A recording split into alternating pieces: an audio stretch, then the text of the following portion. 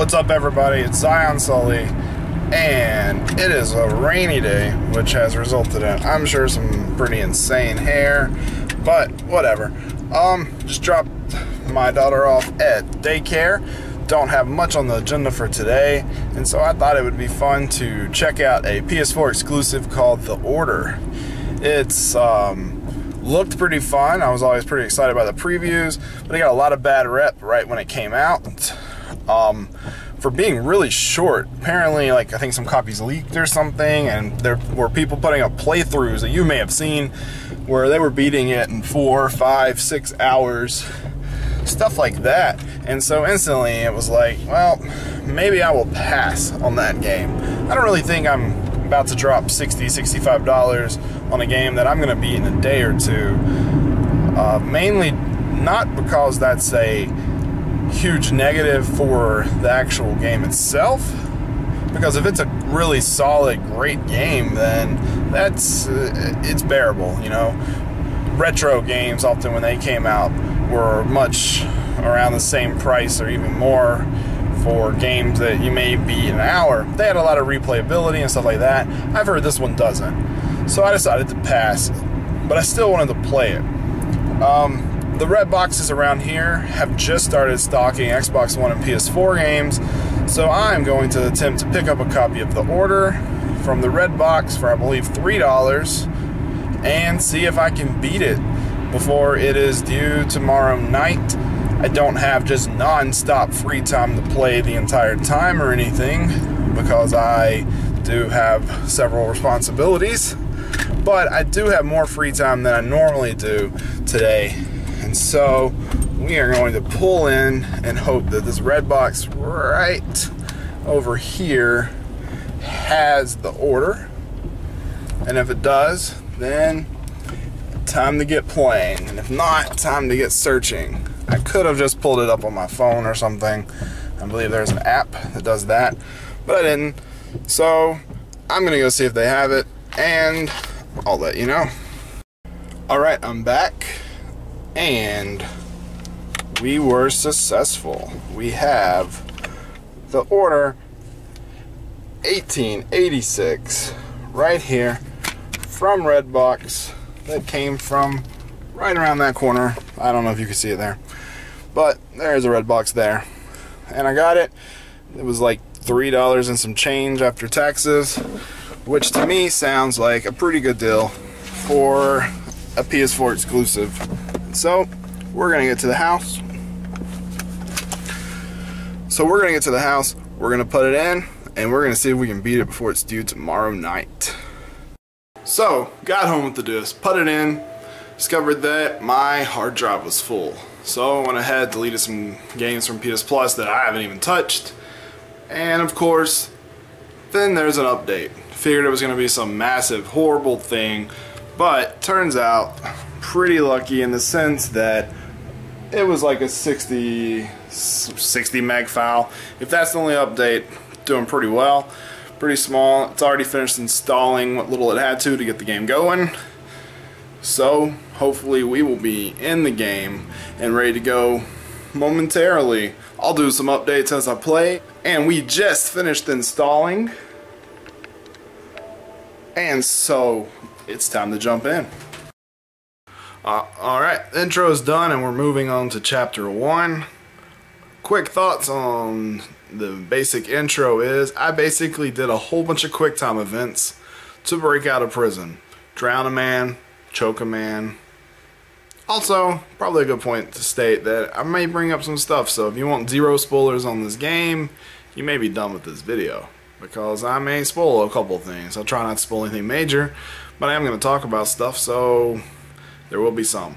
But yeah, so drown a man by tapping a button, uh, snapped a guy's neck by tapping a button, escape from a prison by tapping a series of buttons.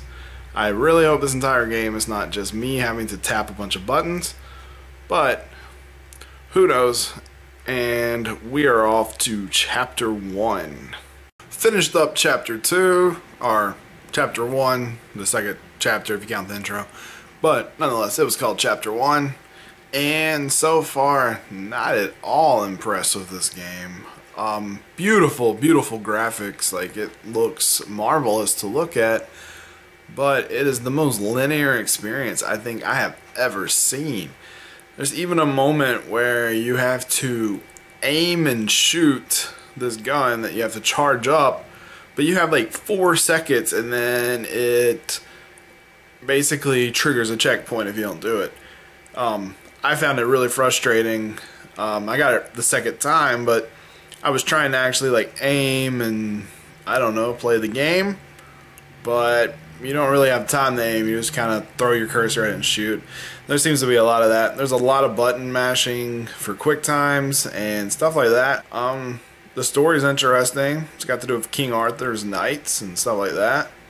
And um, a time a little bit later, we got some werewolves, things like that. So I'm hoping that it begins to let me have a little more control but nonetheless, I'm going to keep going. So chapters 3 and 4 are down. No, 2 and 3. I'm really bad at counting. That intro has really messed me up. Anyways, 2 and 3, and I just got to 4. Um, chapter 2, you basically walk around the round table and then look at some inventions. And that was the entire chapter. And 3, you make your way for a hospital it was the most fun chapter so far. Got to actually do some shooting, and there's this one really awesome gun where you basically shoot this powder and then ignite it, and that was actually really fun and pretty original. Can't think of any other guns I've seen like that in any other game. So we continue to press on into chapter 4.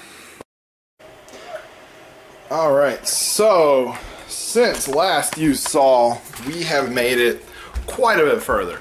You may not know the difference because you're watching a video, but I did a lot of playing without these little updates for various reasons, like stuff going on around me, um, not being able to even record the gameplay at the time, but pressing on because, like I said, I'm determined to beat it. At this point, by tonight, I played pretty late into the night.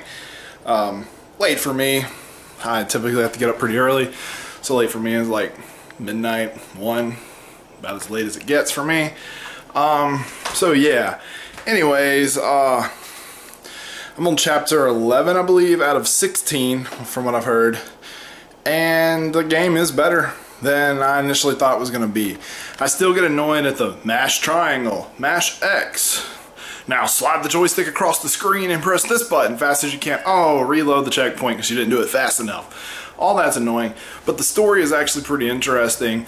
And personally, I think I'm glad this game is going to be a short one. I don't feel like I'd want to play more than the amount that I believe I have left. Um, I feel like there's probably an hour or two left, and that feels right to me. Um, I think if they had made a 20 hour game, it would have been horrible, but instead, it's actually kind of decent. Uh, that being said, I still, at this point, am saying it's a rental or pick it up for 20. You don't want to go pay full price for this because it is a single playthrough kind of experience and I don't see as many people being like oh man I gotta go play it again. The collectibles aren't even that exciting. They're just little wax canisters that play audio files and unlike a lot of other games the audio files don't even play while you're playing. You have to go to a menu and click them individually and listen to them there. So I've listened to a grand total of zero. But um, I'll probably make one more video letting you know when I beat it. The clock is ticking so I'll let you know if I made it in time or if I had to get a second day. Well, mission accomplished. We have successfully rented the Order 1866 and beaten it before having to take it back. you can see the previews going.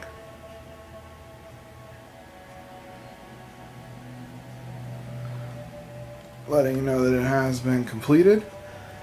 And I would say that it was at least a um three dollars well spent.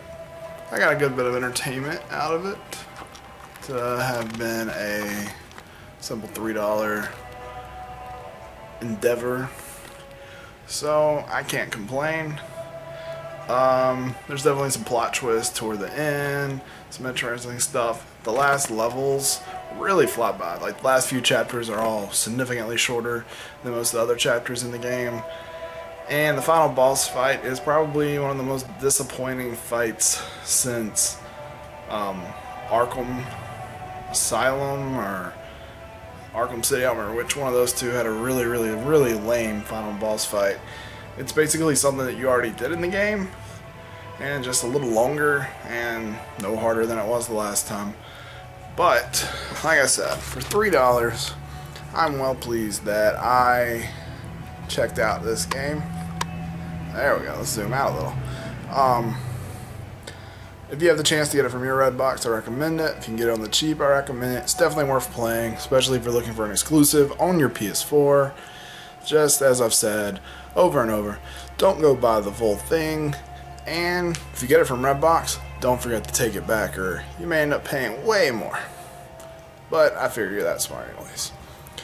Well, I hope that you have enjoyed this Redbox challenge on the order 1866. If you did, leave a comment, click like, or even subscribe to the channel. This is Zion Sully, and I hope that you'll check out my future videos as well. Thanks for watching.